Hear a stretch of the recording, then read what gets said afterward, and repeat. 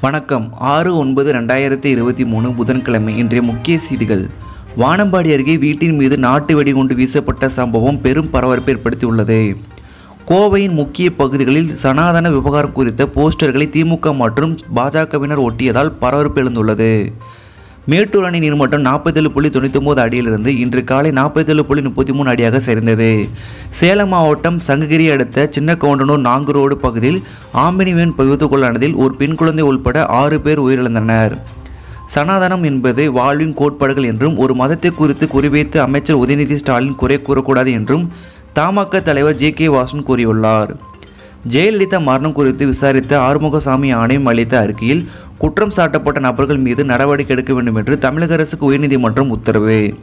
சென்னையில் அமைச்சர் உதயநிதி ஸ்டாலின் வீட்டுக்கு போலீஸ் பாதுகாப்பு அதிகரிக்கப்பட்டுள்ளது. புதிய தலைமை செயலகம் கட்டியதில் நடந்த முறைகேடுகள் தொடர்பான அரசியல் மேல்முறையீட்டு வழக்கில் தன்னை இணைக்க கோரி அதிமுக முன்னாள் எம்பி ஜெயவர்தனின் மனுவுக்கு அரசு பதிலளிக்க உயர்நீதிமன்றம் உத்தரவு. தமிழக சுற்றுலா தலங்களில் மேற்கொள்ளப்பட்டு வரும் மேம்பாட்டு பணிகள் அனைத்தையும் டிசம்பர் மாதத்துக்குள் முடித்து மக்கள் பயன்பாட்டுக்கு கொண்டு வரப்படும் என்று அமைச்சர் க. ராமச்சந்திரன் தெரிவித்துள்ளார். சென்னை மாகாண முன்னாள் முதல்வர் ப. சுப்பராயனின் உருவச்சிலையை முதல்வர் மு. க. ஸ்டாலின் திறந்து வைத்தார். மாணவர்களை நல்வழிப்படுத்த அவர்களை தண்டிக்கும் ஆசிரியர்கள் சிறை செல்லும் நிலை உருவாகியிருப்பது வேதனை அளிக்கிறது என்று முன்னாள் நீதிபதி பி. என். பிரகாஷ் வேதனை தெரிவித்துள்ளார். இந்திய என்ற சொல்லை பாஜகவுக்கு கசக்கிறது என்று முதல்வர் மு. க. ஸ்டாலின் தெரிவித்துள்ளார்.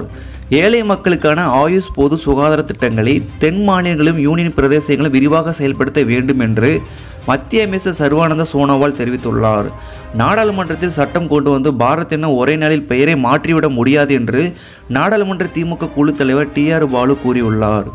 முன்னாள் முதல்வர் கருணாநிதி நூற்றாண்டு விழாவையொட்டி பள்ளி மாணவர்களுக்கான ஓவியப் போட்டி வரும் ஒன்பதாம் தேதி நடைபெற உள்ளது.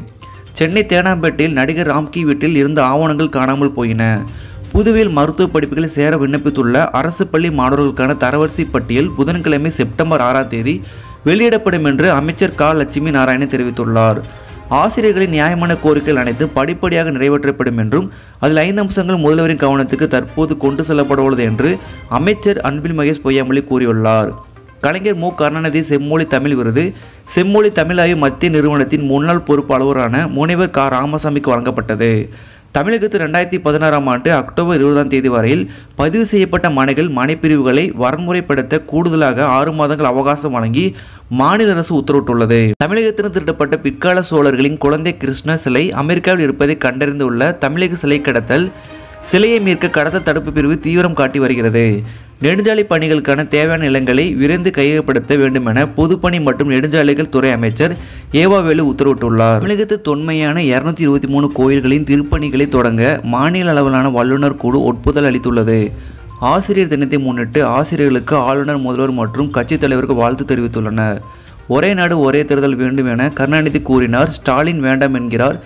இதுதான் திமுகவின் நிலைப்பாடு என தமிழக பாஜக தலைவர் அண்ணாமலை குற்றம் சாட்டினார். மத்தியில் ஆளும் பாஜகவிடமிருந்து இந்தியாவை காப்பாற்றப் போவது இந்தியா கூட்டணி தான் என்கிறார் தமிழக இளைஞர் நலன் விளையாட்டு மேம்பாட்டுத்துறை அமைச்சரும் திமுக இளைஞரணி செயலருமான உதயநிதி ஸ்டாலின்.